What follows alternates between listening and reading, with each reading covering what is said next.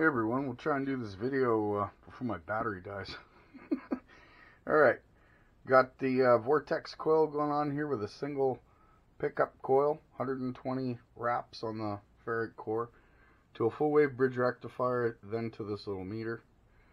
The uh, primary of this coil is going to be pulsed with a modified Bedini circuit, and the secondary is going to go to this LED bank.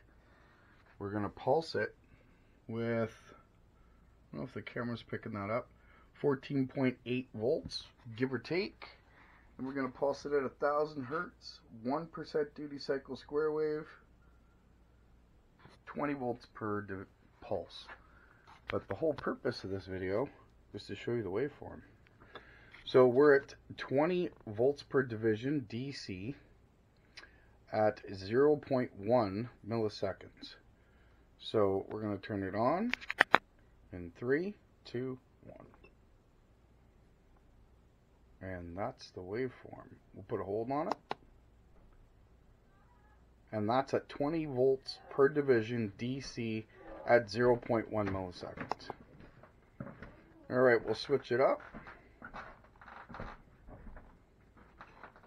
Let's go up a little.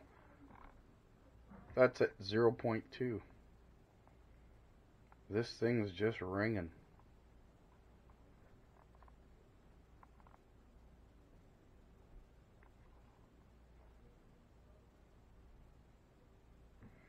Alright everybody, that's just a quick view. You have a great day.